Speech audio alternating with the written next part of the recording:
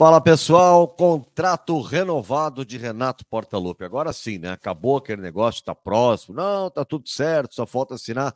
Tá assinado, contrato renovado, garantia de que Renato agora é técnico do Grêmio para trabalhar, né? Para fazer o planejamento. E ele já disse que o Grêmio vem muito forte para 2024. Então tá otimista o Renato.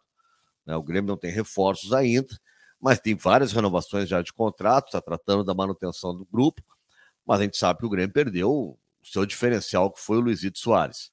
Estou né? aqui em Montevidéu, já falei sobre isso no vídeo anterior, e é um. O pessoal acompanhou de perto aqui o, o Soares também no Grêmio, ele estava no Nacional, né?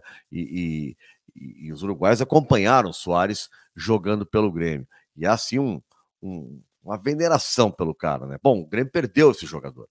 E o Grêmio vai ter que agora, não é repor um centroavante, mas é tentar agregar qualidade Pô, trazer um novo Soares, tu não acha assim, né? Não é assim que tu vai encontrar um novo Soares. Mas o Grêmio tem que agregar qualidade, afinal de contas, o Grêmio tem um desafio que é da Libertadores esse ano. Além de Brasileirão, Copa do Brasil, né, Galchão, mas tem Libertadores. Né? E a gente sabe que essa é uma competição que o Renato já ganhou com o Grêmio, é sempre uma ambição né, da direção gremista, então a gente aposta, o Renato aposta e a diretoria acho que vai fazer o possível para que o Grêmio se reforce né, e seja forte para a Libertadores, porque nesse momento né, o Grêmio precisa arrumar muita coisa. Nesse momento tem muita coisa, com a saída do Soares, né?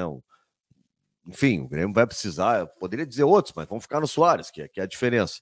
Né? O Grêmio vai ter que precisar né, é, é, se recompor, arrumar o grupo, trazer jogadores, se qualificar para entrar de cabeça realmente nessa disputa da Libertadores. Com relação ao Renato na seleção, que foi o vídeo anterior que eu gravei, e né, daí o pessoal começou a falar no assunto, né, o, o, Renato não deixou de sonhar com a seleção.